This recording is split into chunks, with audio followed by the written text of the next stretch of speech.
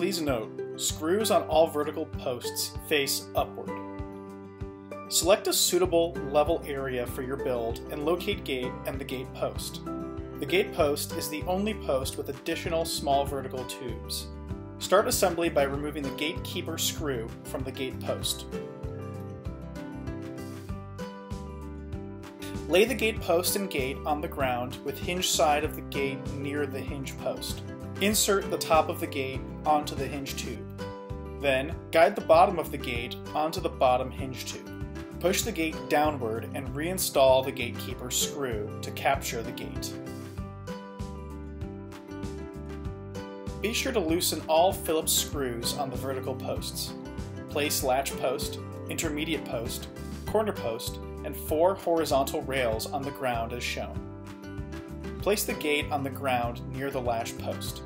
Push horizontal through the gate and into the latch post. Add two more horizontal rails and corner post. This layout will complete the gate side of the kennel. Tighten all screws with a number 2 Phillips screwdriver except the gate post. Leave screws loose at this point. Slide the gate toward the latch post, leaving 2 inches for latch operation. Now, tighten screws to secure gate placement.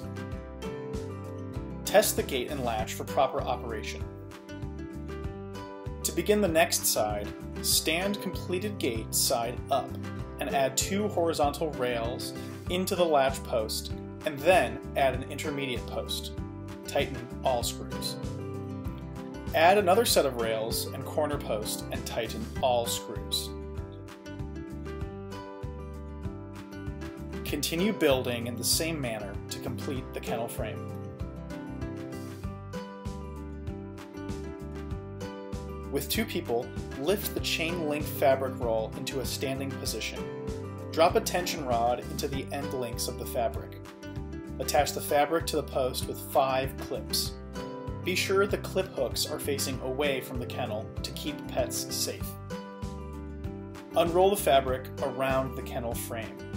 Wire ties can be used to loosely attach to tip rail if support is needed as you move around the frame.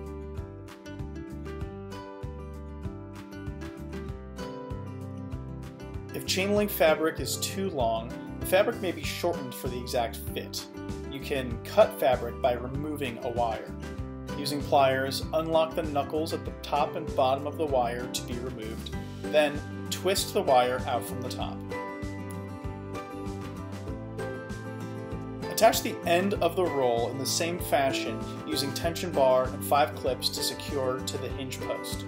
If there isn't enough tension on the chain link fabric, you can cut the roll again. Attach the fabric to the top rail with wire ties. Using pliers, twist the pre-bent end of the tie around the chain link fabric. Secure with a tie at the top of kennel every 18 inches. Attach the bottom in the same fashion. Secure fabric with a tie every 12 inches around the bottom of the kennel. Attach the fabric at intermediate posts with three evenly spaced ties. Check the gate and latch operation. The gate should open freely and swing in and out. Congratulations on creating a Lowe's secure enclosure for your pet. Please look for our other kennels at your local Lowe's store or on Lowe's.com.